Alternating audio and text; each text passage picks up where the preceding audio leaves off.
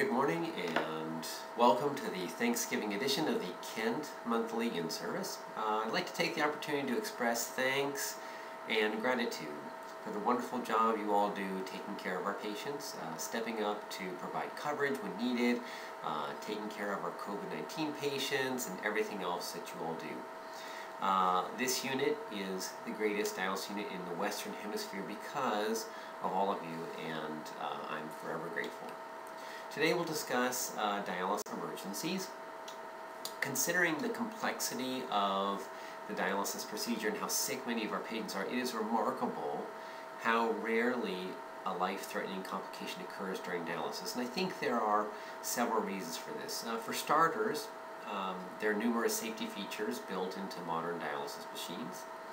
Um, second, uh, we have meticulous uh, water safety management uh, and dialysis solution preparation to prevent exposure to uh, trace elements, uh, toxins, and pathogens. So we're very grateful for the job that Joe does. Um, you all do a wonderful job adhering to detailed treatment protocols, uh, which uh, enhances the safety of the procedure. Um, and also you all have background in dealing with uh, emergencies, medical emergencies that handle in the dialysis unit, which is very helpful. Um, so we're going to discuss several different dialysis emergencies today, uh, including dialysis disequilibrium syndrome, uh, venous air embolism, hemolysis, uh, venous needle dislodgement, vascular access hemorrhage, uh, and major allergic reactions to dialyzer or treatment medications. Uh, and finally, disruption or contamination of the dialysis water system. So all of these are potential emergencies that we don't see very often in the DOUS units, uh, but we should definitely um, recognize them when they happen. Okay, so the first one we're going to talk about is the dialysis disequilibrium syndrome.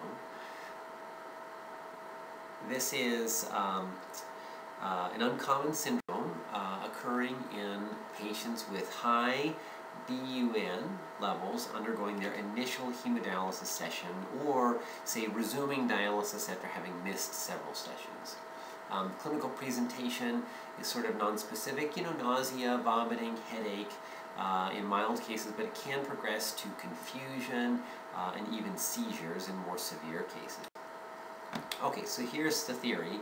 Uh, basically, dialysis removes waste products um, not only from the blood, but also from our tissues, specifically from inside of cells. Now, BUN, or blood urea nitrogen, is removed from the blood faster than it is removed from the cells, including the brain cells.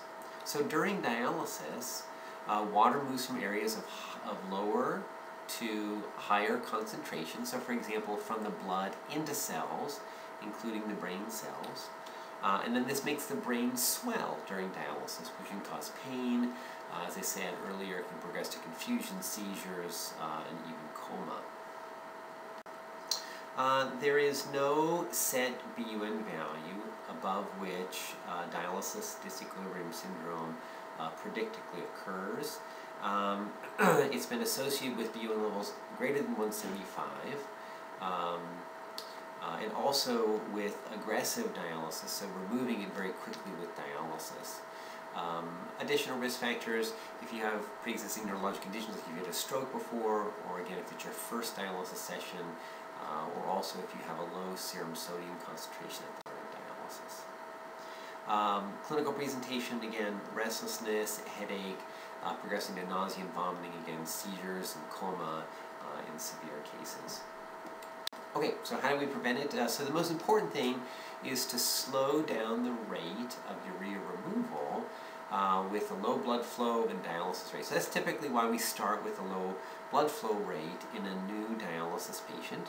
Um, you can also increase the dialysate sodium concentration. That is effective. Uh, the problem is it causes sodium retention in the patient, which can worsen swelling and blood pressure. So typically we manage this problem uh, by just starting dialysis out slowly.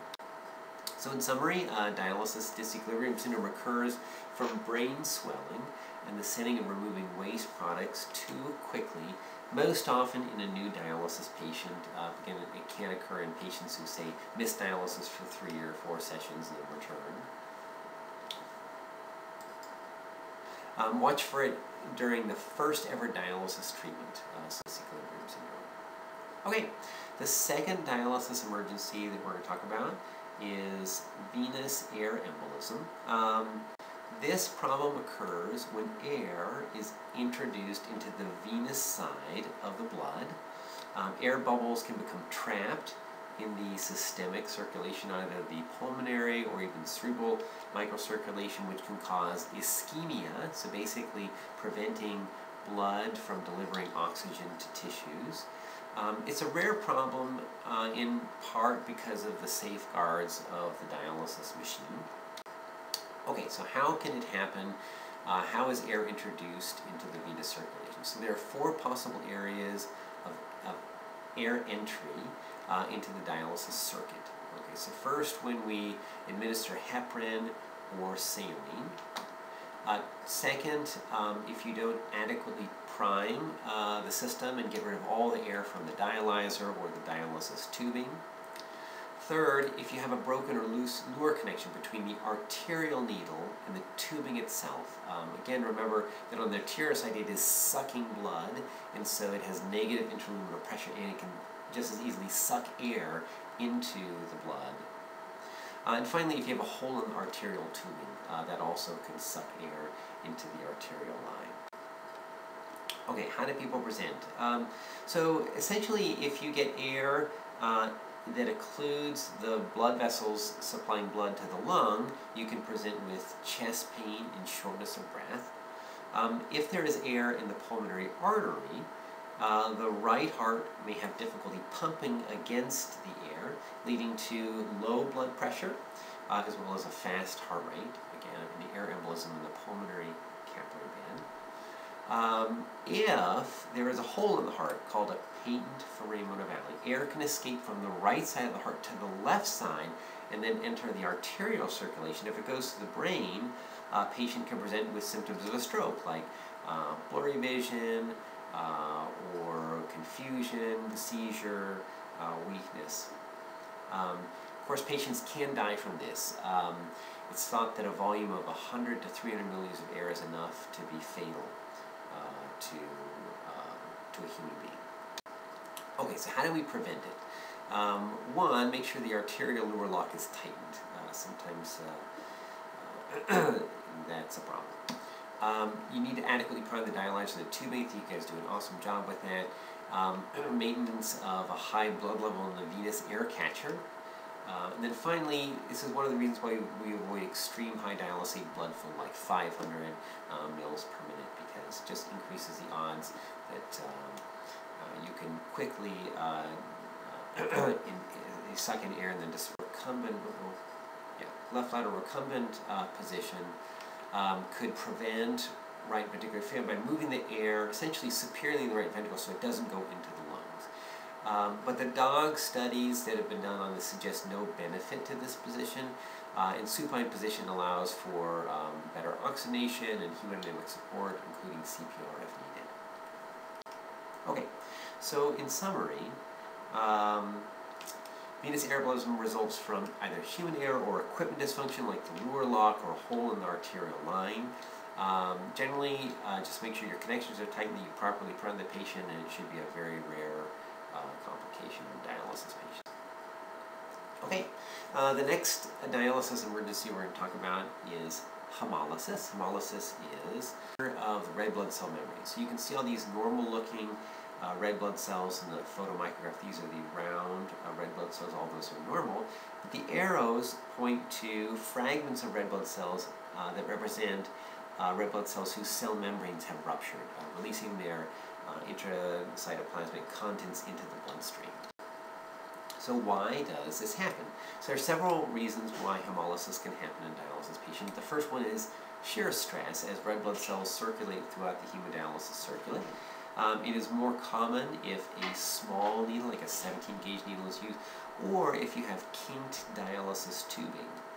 Um, osmotic changes. So for example, if the dialyzer uh, is uh, has a hole in it uh, or a structural defect allowing for the blood and hypotonic dialysate to mix, uh, then that will cause um, water and the hypotonic uh, dialysate to enter the red blood cells and increase pressure and cause it to explode. Um, of course, contaminants in the dialysate can cause hemolysis. The big one we, we worry about um, are chloramines. Chloramines in the water supply, uh, if not properly removed by the carbon tanks, can cause hemolysis, and that is why we check um, our dialysate, or, or, basically the city water, uh, for the presence of uh, carbon after it removed, uh, for, for um, chloramines after it's removed through the carbon tank. Um, there are other contaminants too that can do this, copper, zinc, uh, nitrates, etc., all of which are removed uh, in the water treatment process. Um, hyperthermia is another problem uh, that can enhance hemolysis. Uh, basically, overheated dialysate can cause thermal injury uh, and hemolysis. That's why there are dialysis, uh, dialysate temperature alarms on the machine. Um, of course, this wouldn't just affect a single patient. If there were a problem overheating the dialysate, it would affect multiple dialysis patients uh, uh, in a row. Okay, so the symptoms of hemolysis include nausea, shortness of breath, abdominal pain, back pain, uh, chills. Uh, management includes stopping dialysis uh, and do not return the blood because it may contain a large amount of potassium that is released uh, by the exploded uh, red blood cells. So in summary, hemolysis is rupture of red blood cells. Uh, think about possible causes again. Chloramines, could there be a bad dialyzer? Uh, is the dialysate being overheated? and then most importantly, do not return the blood. Okay, the next dialysis emergent we were talking about is needle dislodgement. This is a big problem. It still happens in every dialysis unit. Um, essentially, uh, hemorrhagic shock can occur quickly uh, if a needle becomes dislodged. Um, with typical blood uh, uh, dialysis flow rates of 300 to 500 mils per minute, uh, hemorrhagic shock can ensue, you know, within a couple of minutes. Um, the major contributing factors towards needle dislodgement. Um, improper taping. Uh, don't think I've ever seen this analysis. You guys do a wonderful job taping uh, the needles. Uh, a loose Luer lock. Uh, I've seen that problem. So basically, it's very important to make sure the Luer lock is uh, uh, tight enough.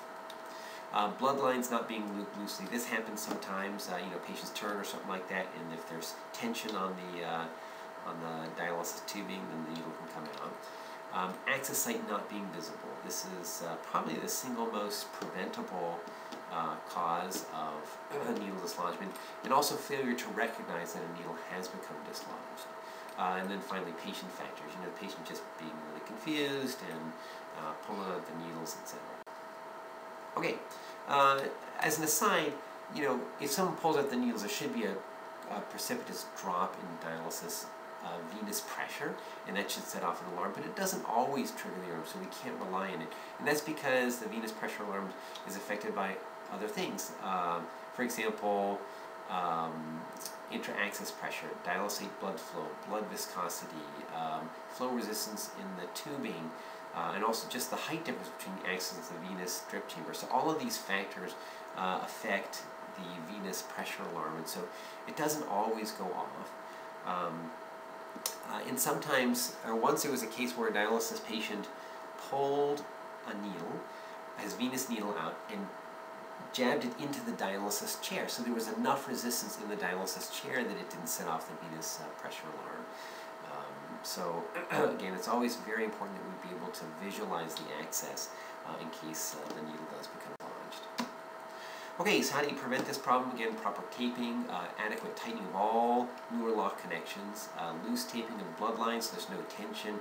Keep the access site visible. That is really, really important. Um, as an aside, in home dialysis patients, uh, we give them what are called enuresis pads, basically pads that are able to detect moisture, and so you put it underneath your arm, and if there is any leaking of blood, uh, it uh, will set off that alarm. Okay, the next allergic reaction we'll talk about uh, next, dialysis emergency, uh, allergic reactions. So allergic reactions um, occasionally occur in dialysis patients, um, and there are many potential triggers.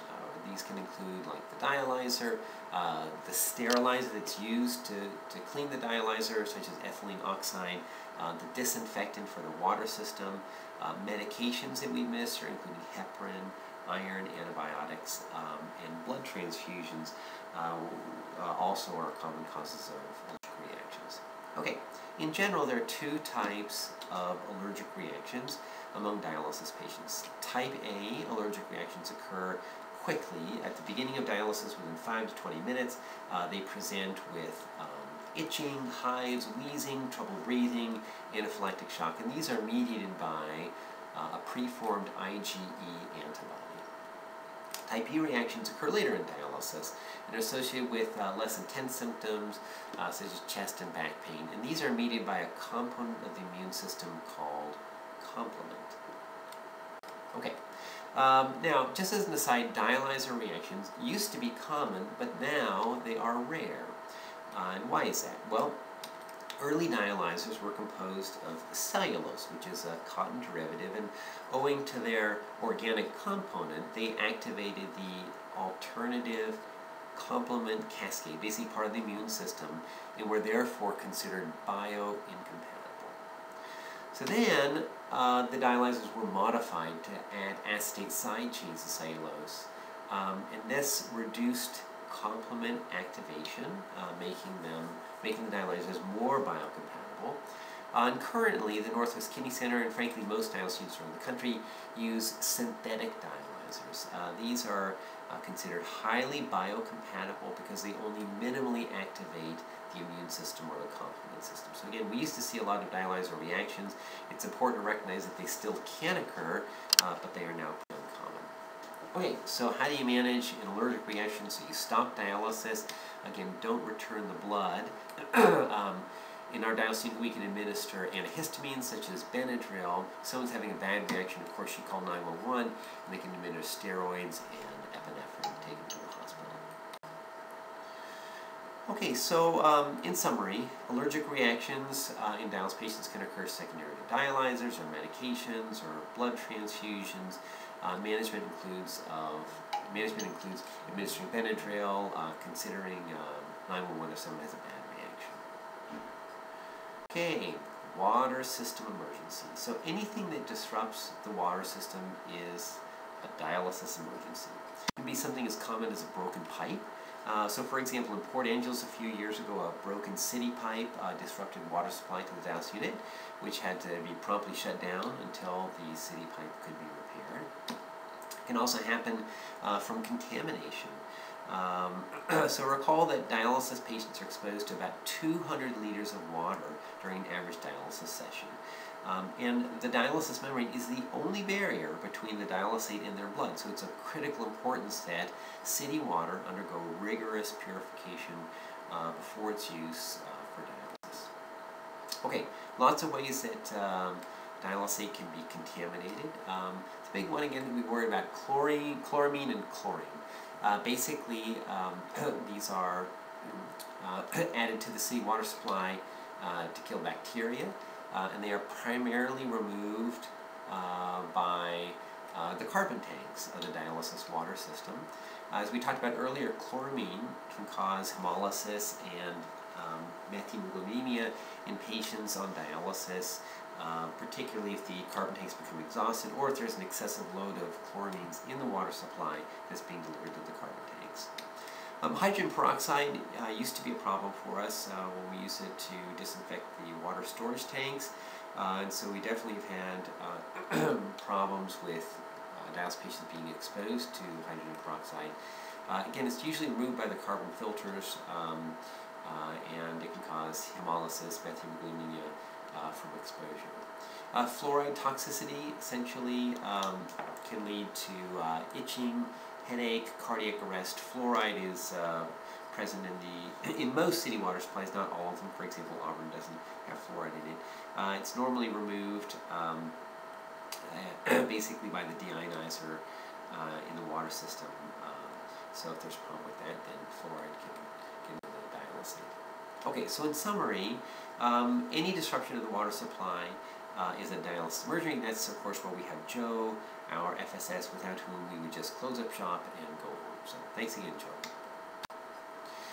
Right, um, the last dialysis emergency we're going to talk about is vascular access hemorrhage. Uh, this is a potentially fatal complication if not recognized promptly and acted on with appropriate intervention. Um, most um, uh, vascular access hemorrhage occurs outside of the dialysis facility, but occasionally fistulas can rupture in the dialysis unit. Um, patients and their family uh, really need to be educated about uh, recognizing uh, and uh, managing uh, bleeding AV access. Um, basically, aneurysm is uh, a dilation of the arteriovenous fistula, the wall becomes thin and prone to rupture. This is the number one risk factor for uh, dialysis hemorrhage. If a dialysis aneurysm were to rupture, uh, the treatment is direct application of pressure. Uh, tourniquet if needed, uh, and then calling 911. Basically, these people need to be managed in emergent, uh, in, in, in, an emergent setting like the hospital operating room to, to ligate the fistula. Okay, uh, it is now time for the favorite part of your talk, quiz. So what are two types of allergic reactions on dialysis? That's right, type A and type B. Type A are the immediate reactions that occur early on in dialysis mediated by IgE antibody. Type B reactions are delayed, occur later in dialysis, uh, and represent activation of a part of the immune system called the complement system. Okay, name three causes of hemolysis. Excellent. Uh, there is uh, shear stress. Uh, again, as um, uh, the as the blood travels through like a small needle, like a 17 gauge needle, or if there's kink tubing. Osmotic changes, again, if there's a defect in the dialyzer, allowing for hypotonic dialysate to come in contact with the blood. Dialysis contaminates like chloramines and chlorine. Uh, and finally, hyperthermia. So basically, the dialysate is overheated, that can cause hemolysis. Name three ways that air can be introduced into the venous circulation. Very good. So inadequate priming, so if you don't get all the air bubbles out of the tubing or the dialyzer. Uh, if you have a broken or loose Luer-lock connecting the arterial needle and the tubing, because again there's negative pressure in there and it likes to suck in air. Uh, there's a hole in arterial tubing that can suck in air into the arterial. Okay, patient just started dialysis has a BUN of 200. He develops a headache and becomes confused. Your primary concern is? That's right. Uh, dialysis disequilibrium syndrome. So again, um, this is a uh, problem that most often occurs during the first dialysis treatment for someone who is uremic. Um, can, however, occur in someone who's missed several dialysis sessions. So in, in either of those cases, you should have a low threshold for considering dialysis disequilibrium syndrome. Okay, this is the main risk factor for AV fistula rupture and bleeding.